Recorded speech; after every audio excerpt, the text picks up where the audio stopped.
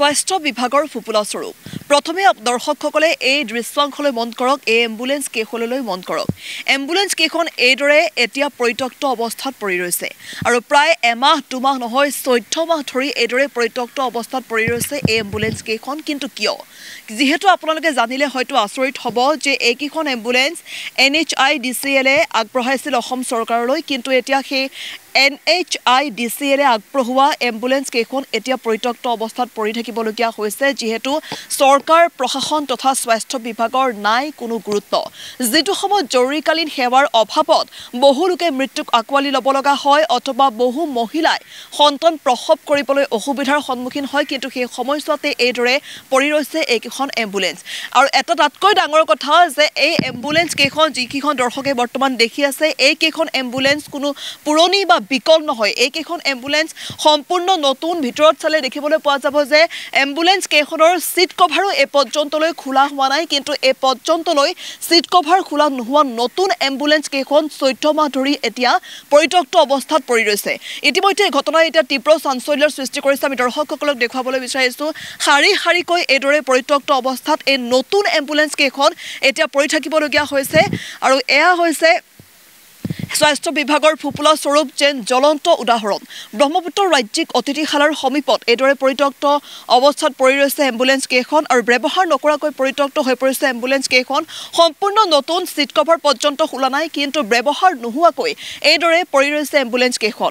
এয়া অসম চৰকাৰলৈ N H I D C L আগবঢ়োৱা এম্বুলেঞ্চ যিটো সময়ত অসমৰ স্বাস্থ্য বিভাগৰ ফুপুলা স্বৰূপ এতিয়া উদাহৰণ হিচাপে আহি পৰিছে ৰাইজৰ মাজলৈ। এইদৰে শাৰী শাৰীকৈ এম্বুলেঞ্চ পৰি ৰৈছে। এখন দুখন নহয় এয়া ক'ব পাৰি যে কোটি টকীয়াৰ কেলেংকাৰী নেকি।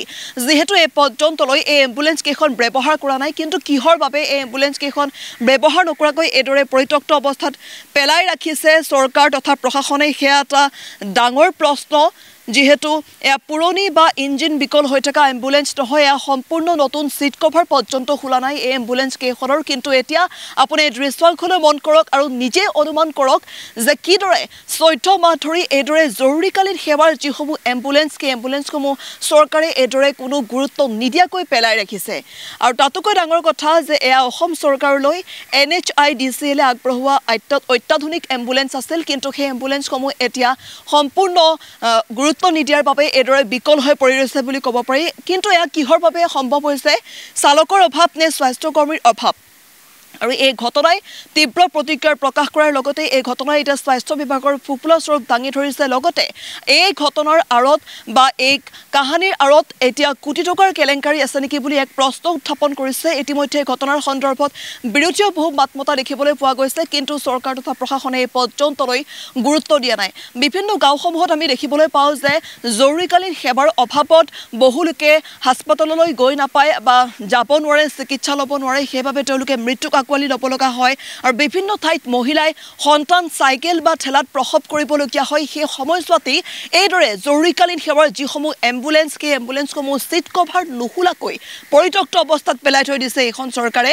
আৰু ব্ৰহ্মপুত্ৰ ৰাজ্যিক অতিথিশালাৰ সমীপত এইদৰে পৰিত্যক্তকৈ এম্বুলেঞ্চসমূহ পৰি থকা দেখিবলৈ পোৱা গৈছে। আৰু এই ঘটনাই যেন এতিয়া তীব্ৰ প্ৰতিক্ৰিয়াৰ সৃষ্টি কৰিছে। লগতে স্বাস্থ্য বিভাগৰ যি ফুপুলা স্বৰূপ সেই ফুপুলা স্বৰূপ যেন এতিয়া দাঙি ধৰিছে। আৰু পৰৱৰ্তী সময়ত চৰকাৰ তথা প্ৰশাসনে কি ব্যৱস্থা গ্ৰহণ কৰিব সেয়া এতিয়াও এক প্ৰশ্নবোধক।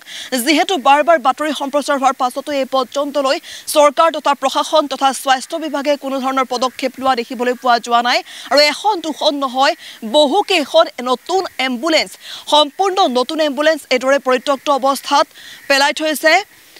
ব্ৰহ্মপুত্ৰ ৰাজ্যিক অতিথিশালাৰ সমীপত আৰু এই পৰ্যন্তলৈ N H I D C L আগবঢ়োৱা অসম চৰকাৰলৈ যি আগবঢ়াইছে এম্বুলেঞ্চ কেইখন সেই এম্বুলেঞ্চৰ ক্ষেত্ৰত কোনো পদক্ষেপ লোৱা নাই বা ব্যৱহাৰ কৰা হোৱা নাই যিসমূহত জৰুৰীকালীন সেৱাৰ অসুবিধা হয় তাৰ পাছতো কিন্তু এইদৰে নতুন এম্বুলেঞ্চসমূহ পেলাই থৈছে আৰু এখন দুখন নহয় শাৰী শাৰীকৈ এইদৰে কেইবাখনো এম্বুলেঞ্চ পেলাই থৈ দিয়া ইতিমধ্যে পৰিলক্ষিত হৈছে।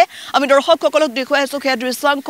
আৰু ইতিমধ্যে এই ঘটনাই যেন এতিয়া স্বাস্থ্য বিভাগৰ ফুপুলা স্বৰূপ সম্পূৰ্ণ সম্পূৰ্ণৰূপে দাঙি ধৰিছে আৰু পৰৱৰ্তী সময়ত চৰকাৰ তথা প্ৰশাসনে এই বাতৰি সম্প্ৰচাৰ হোৱাৰ পাছত চৰকাৰ তথা প্ৰশাসনে আৰু স্বাস্থ্য বিভাগে এই এম্বুলেঞ্চ কেইখনৰ সন্দৰ্ভত কি পদক্ষেপ গ্ৰহণ কৰিব সেয়া হ'ব লক্ষণীয়।